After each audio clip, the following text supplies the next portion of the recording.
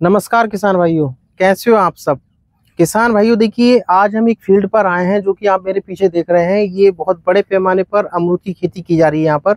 कई एकड़ में यहाँ पर अमरूद की खेती की जाती है और अमरूद की खेती का आप प्लांट भी आप देखोगे तो बहुत अच्छा फ्रूटिंग हुई है। काफ़ी यहाँ पर फल आया हुआ है। इसको हम पूरी जानकारी लेंगे। इस वीडियो में पूरी जानकारी आपको मिलेगी कि कब लगाया जाता है क्या क्या इसमें समस्याएँ आती हैं इसके अलावा इसमें कौन सी उर्वरक लगाने पड़ते हैं कौन कौन सी मिट्टियों में हम खेती कर सकते हैं? और जो सर कर रहे हैं, इसको बहुत बड़े पैमाने पर उनसे भी आपको मिलाएँगे और पूरी जानकारी लेने की कोशिश करेंगे कि अमरूद की खेती करने के लिए किन किन बातों का ध्यान रखना पड़ता है। तो किसान भाई वीडियो को करेंगे स्टार्ट। अगर मेरे चैनल पर पहली बार आए तो इसको सब्सक्राइब ज़रूर कर लें और दूसरे जो किसान भाई हैं उन तक उसको पहुँचाएँ। तो मिलाते हैं किसान सर से। तो सर, आपका स्वागत है। नमस्कार नमस्कार कैसे हैं सर? बढ़िया जी। अच्छा तो सर अब सबसे पहले ये बताइए जैसे कि हम बागवानी में बहुत सारी फ़ील्ड में देखते हैं अलग अलग प्रकार की खेती कर रहे हैं लोग आपको अमरूद की ही खेती क्यों चुना अमरूद की खेती में क्यों आए? सबसे पहले इसका थोड़ा सा बताइए खेती मैंने कई प्रकार की करी थी। अच्छा। बागवानी कई तरीके के फलों की उसमें करी थी मैंने। अच्छा अच्छा। लेकिन सब कुछ करने के बाद समझ में आया कि अमरूद से बेहतर हमारे क्षेत्र में अच्छा अच्छा। करने के लिए कोई और दूसरी फ़सल अच्छा। नहीं है। अच्छा अच्छा। इसीलिए फिर अमरूद को मैंने थोड़ा सा बढ़ावा दिया और ज़्यादा स्तर पे करा। अच्छा तो अमरूद की खेती में ये होगी तो कैसे आए सबसे पहले? अच्छा किस, सर किसान भाई काफ़ी बार पूछते हैं कि भाई अमरूद की खेती में जो है सबसे पहले कि कौन सी हमें वेराइटी लगानी चाहिए? तो कोई नया किसान भाई जैसे खेती करना चाहता है तो उसके लिए आपने कौन सी वेराइटी प्रेफर करेंगे उसमें? देखो अमरूद में काफ़ी सारी वैरायटी है। हम्म, कुछ वेरायटी पुरानी है हमारी जो ट्रेडिशनल वैरायटी चला करती थी एल फोर्टी नाइन थी इलाहाबादी सफेदा था। हम्म, तो ललित थी श्वेता थी ये सब हम्म। पुरानी वैरायटी चला करती थी। अच्छा अच्छा। लेकिन वो मैच्योर होने में थोड़ा ज़्यादा वक्त लेती हैं। एक तो वो ग्राफ्टेड पौधे होते हैं तो ग्राफ्टेड पौधे चलने में पाँच साल लेते हैं। अच्छा। और अब जो ये नई वैरायटी आप देख रहे हो ये हम्म। ताइवान पिंक है। हाँ देखिए सर थोड़ा इधर दिखाना। ये देखिए ताइवान ताइवान पिंक वैरायटी है। यहाँ। पर ये देखिए कितनी अच्छी फ्रूटिंग है। काफ़ी फ्रूटिंग है यहाँ पर आई हुई। हाँ जी हाँ जी। तो ये बात हो गई कि वैरायटी की। अब सबसे ज़्यादा जो क्वेश्चन पूछा जाता है किसान भाइयों के द्वारा कि भाई इसको लगाने का सही समय क्या है? किस समय किस... लगाने का सबसे सही समय यही चल रहा है जुलाई अगस्त सबसे अच्छा सही समय है इसके लिए अच्छा। लगाने के लिए। अच्छा तो ये लगा तो आप पूरे साल सकते हैं बस ठंड ना हो। अच्छा। हाँ ठंड का टाइम ना हो एक्सट्रीम ठंड ना हो तो हम्म, दिसंबर जनवरी ना लगाए और सबसे उपयुक्त समय तो यही है बरसात का। अच्छा। सर इसके अलावा जो आपको थोड़ी जानकारी ये बताइए कि ये किस किस पर कौन सी मिट्टियों में हम इसको कर सकते हैं? सभी प्रकार की अमरूद लगभग हर प्रकार की मिट्टी में हो जाता है। अगर आप अच्छा। देखो तो जहाँ बहुत ज़्यादा ठंड होती है वहाँ तो नहीं कर सकते हम इसे। पहाड़ी क्षेत्र में नहीं कर सकते अमरूद। अच्छा। अन्यथा आप देखो राजस्थान में भी होता है। हम्म, और अपने उत्तर प्रदेश में भी होता है। महाराष्ट्र में पथरीली ज़मीन में भी हो रहा है तो एक तो गर्म जलवायु चाहिए इसे। अच्छा। और मिट्टी किसी प्रकार की हो अमरूद पे कोई ज़्यादा फ़र्क पड़ता नहीं है। हर प्रकार की मिट्टी में हाँ। जाती है। तो ये हुई मिट्टी की बात। आप जो किसान भाई को थोड़ा सा ये बताइए जैसे कि एक एकड़ कोई अमरूद की खेती करना चाहता है तो उसमें कितनी लगभग लागत आ जाती है और कितना मुनाफा का मार्जिन रहता है इसमें? देखो लागत का तो अगर मैं बताऊँ तो इसे कई कई अलग अलग दूरियों पे लगाया जा सकता है। अब जैसे हम्म। नई दूरियाँ चल रही हैं जैसे high density ultra high density इन दूरियों पे लगता है। आप मेरे यहाँ भी देखो तो काफ़ी अलग अलग हम्म। दूरियों पे लगा हुआ है। तो अभी जैसे छह बाई छह पे भी लग रहा है अच्छा। दस बाई आठ पे दस बाई छह पे आठ बाई छह पे तो अलग अलग दूरियों पे लग रहा है सब हाई डेंसिटी प्लांटेशन है। अच्छा। तो आदमी के पास कितना क्षेत्र है? उसी हिसाब से। और कितना उसे काम करना है अपने हाथ से? उसी अनुसार वो अपनी दूरी उस पर निर्धारित कर सकता है। अच्छा तो ये जो आपने प्लांटेशन किया है जो हम देख रहे हैं इस समय ये कितनी दूरी पे लगा हुआ ये दस बाई आठ पे लगा हुआ है प्लॉट पे अभी हम यहाँ पे खड़े हुए अच्छा अच्छा। तो इसमें काम थोड़ा तेज़ी से काम हो जाता है कि जैसे हम स्प्रे वगैरह करते हैं हम्म, तो उस समय ट्रैक्टर बीच में घुसा के काम हो जाता अच्छा, है अन्यथा हाँ। छोटी दूरी पे ट्रैक्टर अंदर नहीं घुसता तो बाहर से स्प्रे करने पड़ते अच्छा अच्छा तो ये हुई। अब जैसे एक बात और बताइए जैसे कि इसमें हमने लगा दिया अब लग, पौधा लगाने के बाद में इसमें जब लगाते समय में कौन कौन सी बातें ध्यान रखनी पड़ती हैं जब पौधा लगाते समय ऐसा तो ऐसा कोई ज़रूरी नहीं है कि हमें इसमें कोई स्पेशल सावधानी रखनी है। अच्छा। बस हमें यही देखना है कि लगाने के बाद में हम्म, एक छोटा सा ही गड्ढा करें खाली खुरपे से नाप अच्छा। करने के बाद में वहाँ लगाने के बाद में उसमें एक फंगीसाइड अच्छा। और एक इंसेक्टिसाइड कीटनाशक की ड्रेंचिंग कर दें खाली इसके अलावा किसी और चीज़ की आवश्यकता नहीं पड़ती। अच्छा अच्छा। तो सर लगाने की बात हो गई। लगाते समय कुछ फर्टिलाइज़र वगैरह भी कुछ लगाने पड़ते हैं? या उसके बाद में? ऐसा कुछ नहीं होता। अगर हम वैसे भी देखें कि एक छोटा बच्चा भी होता है घर में हम्म, तो हम्म। एकदम से उसे खाना कैसे खिला सकते हो हाँ ये तो है। तो पौधा अपनी क्षमता के अनुरूप ही देगा और हम्म। मेरा मानना सिर्फ़ इतना है कि धरती कोई हमारी बंजर तो है नहीं हम्म, माँ है हमारी। बिल्कुल बिल्कुल। और पौधा अगर हम वहाँ लगाएँगे तो खाने के लिए पौधे के खाने के लिए तो बच्चे के लिए तो सब कुछ वहाँ पे मिले जैसे कंपोस्ट खाद वगैरह है वो आ, मैं तो नहीं लगाता। अच्छा अच्छा अच्छा। हाँ देखिए। मैं तो तो ये हो गई बात लगाने की उर्वरक की उसके बाद में जो बात आती है इसकी जो इरिगेशन है सिंचाई वगैरह है तो वो नॉर्मली करते हो? मैं तो अभी फ्लड से ही करता हूँ सारा अच्छा, काम। और अगर कोई ड्रिप अरेंज कर सके तो वो हाँ। ज़्यादा बेहतर है अच्छा अच्छा। क्योंकि काफ़ी सारे काम जो है उसमें हम्म, आसानी से निपट सकते हैं। हम्म, ये तो है। तो सर एक बात और बताइए आप बात करते हैं इसकी कटिंग की। जी खास जी करके जो सबसे मेन पॉइंट है क्योंकि कई बार हम देखते हैं कि कई किसान भाइयों ने पौधे लगा दिए सालों बीत गए दो साल हो गए फल ही नहीं आ रहा है। और यहाँ पे हम आपके यहाँ पर आए फ़ील्ड पर तो देख रहे हैं कितना अच्छा फ्रूटिंग है और काफ़ी फल आया हुआ है। तो इसमें कटिंग जो करते हैं कटिंग करते वक्त कौन कौन सी सावधानी बरती जाती है और कैसे की जाती है थोड़ा सा सर यहाँ आकर के बताइए आप। कि जैसे पौधा हमने यहाँ से चलाया था नीचे से जी जी जी। तो पहला कट हमारा यहाँ भी लग रहा है। अच्छा यहाँ पे लगा हुआ है? जी अच्छा यहाँ ये ये देखो ये कट भी लगा हुआ है हमारा अच्छा। यहाँ पे। अच्छा। ये देखो ये मेन ब्रांच है यहाँ पे कटी हुई है। हम्म। फिर फिर यहाँ भी लगा हुआ है। अब ये कटिंग इस साल की है। अच्छा। तो जब नेक्स्ट कटिंग करेंगे तो हम तो ये ये भी जाएगा और ये भी जाएगा। हाँ जी फिर? हम इसे यहाँ से काट देंगे। तो ये तो जितनी हेल्दी टहनिया होंगी अच्छा। और आपस में थोड़ी सी गैपिंग होगी हम्म, दूरी होगी उतना तो वो हम वहाँ पे खड़ी टहनियाँ हम्म, पास से नहीं काटते थोड़ी दूर की टहनिया होते हैं अच्छा वो अच्छा। काटते हैं। तो ये फल जैसे अभी इस समय लगा हुआ है इसकी ये हार्वेस्टिंग हो जाएगी जी जी जी तो अगली फ़सल के बाद में मतलब हाँ जी हाँ जी कटिंग ठंड में नहीं होती। अच्छा। जब ठंड खत्म होती है अच्छा तो होली के आसपास जब मौसम आता है अच्छा। तो वहाँ पे आके कटिंग करते हैं हाँ, और कटिंग से ही कटिंग सब वेराइटियों में नहीं करते। हम्म। ये खाली ताइवान अच्छा पिंक एक ऐसी वेराइटी है वरना जितनी हमारी पुरानी ट्रेडिशनल वेराइटीज हैं अच्छा। उसमें अगर हम कटिंग कर देंगे हाँ, तो वो हमें फ्रूटिंग हम्म, नहीं देंगी। तो देखिए कितनी अच्छी फ्रूटिंग है यहाँ पर सभी हार्वेस्टिंग के लिए तैयार है पूरा पौधा और काफ़ी। तो सर ये बताइए इस एक पौधे से आप कितने किलो तक मतलब एक पौधे से अमरूद देखो अगर मैं सही बात करूँ तो ये दूसरी फ़सल है। हम्म, बड़ी फ़सल ये अब भी नहीं है मेरी। अच्छा। नेक्स्ट ईयर पौधा जो है वो अपनी फुल फ्रूटिंग पे आ जाएगा। अच्छा अच्छा।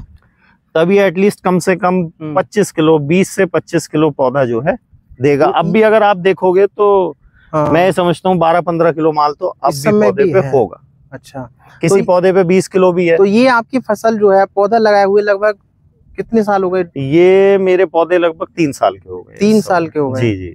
यानी जो जैसे पहला जो साल था फ्रूटिंग शुरू हो गई थी उसी साल? नहीं फ्रूटिंग तो मैं आपको वो पौधे भी दिखा दूँगा जो लास्ट हम्म। ईयर के लगे हुए हैं फ्रूटिंग कर रहे हैं वो। हम्म, तो शुरुआत में उतनी जानकारी नहीं थी तो हमने फ्रूटिंग ली नहीं थी हमसे बताया गया था कि तोड़ देना। लेकिन अच्छा। अब। समझ में आ रहा है कि कुछ तोड़ना नहीं होता है अच्छा अच्छा।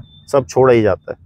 सर लास्ट क्वेश्चन हमारा ये है कि सबसे पहले जैसे कि आप नर्सरी कहाँ से लाते हैं पहले तो ये और दूसरी बात कि एक एकड़ में कितनी लागत आ जाती है किसान भाई के मतलब पौधा लगाना लेबर खर्च मिला करके लगभग कितना खर्चा आ जाएगा एक एकड़ में देखो लागत तो एक तो पौधे की लागत नर्सरी के ऊपर भी डिपेंड करती है इसका अच्छा। कोई। पर्टिकुलर एक आंसर नहीं हो सकता हम्म, कोई बेचने वाला पच्चीस रुपए में भी बेच रहा है कोई उसी पौधे को डेढ़ सौ रुपए में भी बेच रहा है। अच्छा अच्छा। तो एक तो हमें अच्छी नर्सरी का चुनाव करना चाहिए। हम्म, तो पौधे असल में उत्तर प्रदेश में हम्म, बनते भी नहीं है सब पौधे आंध्रा बनते हैं टिश्यू कल्चर के पौधे होते हैं। अच्छा अच्छा। तो जो भी नर्सरी वाला लेके आता है सब आंध्र प्रदेश से ही लेके आते हैं। अच्छा। लेकिन पौधे लाते समय कुछ चीज़ों का बहुत ध्यान रखना चाहिए। नर्सरी वाले जो कीमत लेते हैं हम्म, वो उसी चीज़ की लेते हैं। अमरूद में एक मुख्यतः रोग लगता है जड़ में जिसे नीमाटोड बोलते हैं। अच्छा अच्छा। तो जो नर्सरियाँ अच्छी नहीं होती पौधा बनाते समय प्रिकॉशन नहीं लेती हैं तो हम्म, वो नीमाटोड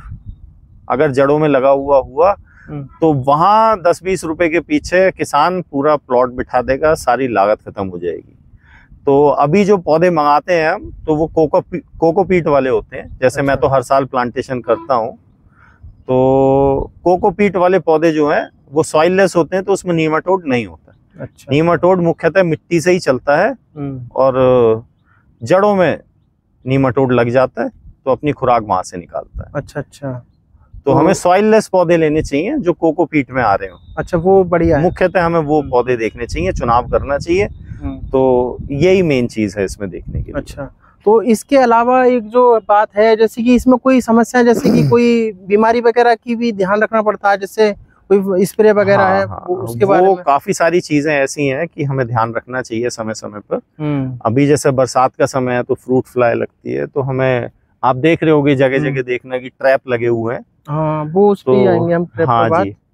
तो, एक बार सर ट्रैप बताइए जहाँ ट्रैप लगा हुआ है और उसको हम एक बार किसान भाइयों को दिखा देते हैं कि उसका क्या यूज़ थोड़ा इसमें ये जूम करके सर दिखाना जरा।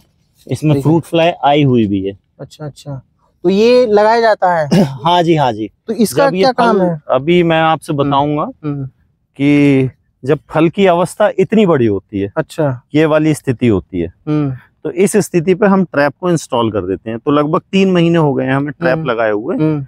तो एक तो ट्रैप से मक्खी तो नहीं रुकती है। हम्म। इसमें खाली मेल आता है फीमेल नहीं आती। हम्म, फीमेल से ही काढ़ा होता है हमारा फल। हम्म, लेकिन ये मॉनिटरिंग का काम करता है कि हमें पता चलता है कि मक्खी कितनी तादाद में है और। हमें इसमें फॉयलर स्प्रे करना चाहिए कि नहीं करना अच्छा तो ये क्वांटिटी बताती है। हाँ जी हाँ जी। अच्छा। ऐसा नहीं होता कि इसे लगाने के बाद में हमारा फ्रूट जो है वो काढ़ा होने से रुक जाएगा। उसके लिए ये हमें खाली। हाँ वो हमें स्प्रे से केमिकल तरीके से ही रोकना पड़ेगा। एक बाग अच्छा। बगीचे में साफ़ सफ़ाई होनी चाहिए। हम्म, बहुत बड़ी घास ना हो हम्म, और आप फिर उस समय केमिकल का चुनाव कर सकते हैं। अच्छा अच्छा। तो ये इस प्रकार की बीमारी से बचाव के लिए स्प्रे करना हाँ जी और बाकी कोई ऐसी हम्म। कोई रोग नहीं आता। मिली बग लगता है थोड़ा सा इसमें जैसे अच्छा। कड़ी कीड़ा ही बोलता है अच्छा, किसान अच्छा। आम भाषा में। हाँ। और और कोई ऐसी मुख्य बीमारी इसमें नहीं लगती। नहीं लगता। तो सर इसके आप काफ़ी लंबे समय से अमरूद की खेती कर रहे हैं। और क्या क्या कोई जो खास बात आपके अनुसार रह गई हो या कोई जो सावधानी बरतनी होती है अमरूद की खेती में? उसको बारे में थोड़ा सा बताइए। देखो मेन चीज़ तो खाली कटाई छटाई का है अच्छा। कि हमें किस मौसम में फ़सल लेनी है। ताइवान पिंक मेन कटिंग से ही चलता है। जब अच्छा। हम। इसकी कटिंग कर देते हैं तो लगभग पाँच महीने बाद ये प्रोडक्शन उसमें दे देता है। पाँच महीने बाद ही? हाँ जी। पाँच अच्छा। महीने से प्रोडक्शन चालू कर देता है। अब ये मेरी कटिंग लगभग मार्च की लगी हुई है और आज हम्म। हम अगस्त में खड़े हुए हैं। अगस्त में पूरा हार्वेस्टिंग के लिए हाँ जी हाँ जी।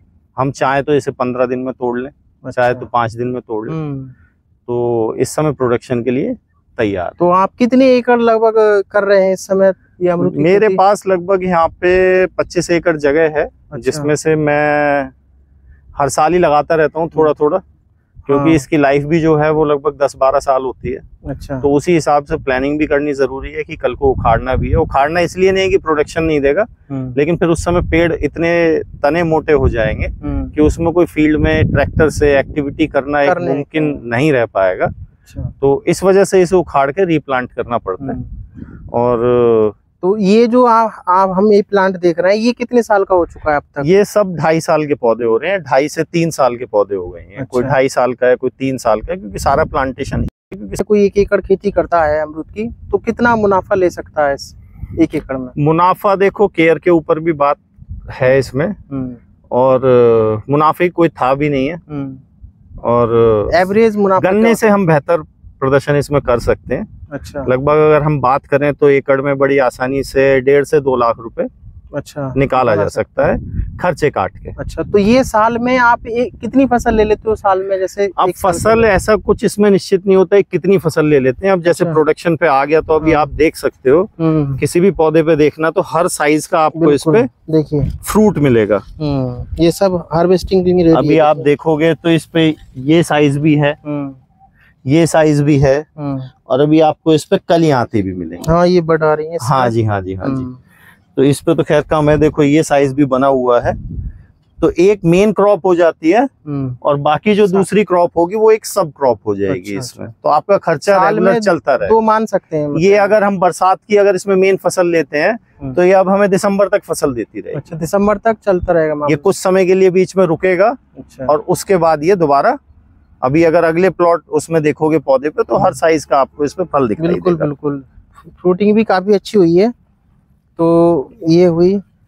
तो लास्ट में सर आप जो हमारे किसान भाई देख रहे हैं या अमरूद की खेती करना चाह रहे हैं या और भी जो खेती कर रहे हैं पहले से कर रहे हैं लेकिन अच्छा मुनाफा नहीं ले पा रहे हैं या फिर वो दिक्कतें हैं तो उन्हें लास्ट में आप क्या संदेश देना चाहेंगे? क्या देख देखो अच्छी करें? वैरायटी का चुनाव करें एक तो।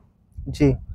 और काम करने से पहले अ, किसी भी पुराने आदमी से सलाह लेने से अच्छा। झिझके ना।